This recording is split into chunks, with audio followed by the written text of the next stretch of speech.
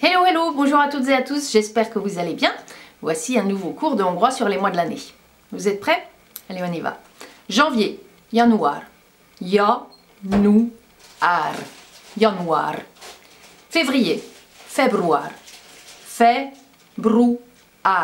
Februar. Mars, marciusz. Marciusz. Marciusz. Avril, aprilis. Aprilis. Aprilis. Maiusz. Oh, mai, pardon. J'ai commencé par l'hongrois. Maiusz. Maiusz. Euh, juin. Juniusz. Juniusz. Juniusz. Juillet. Juliusz. Juliusz. Août. Augustus. Augustus. Septembre. September.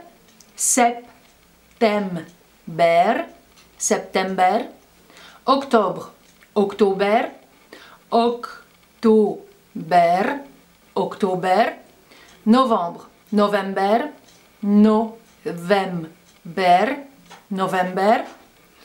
Décembre. December. December. December.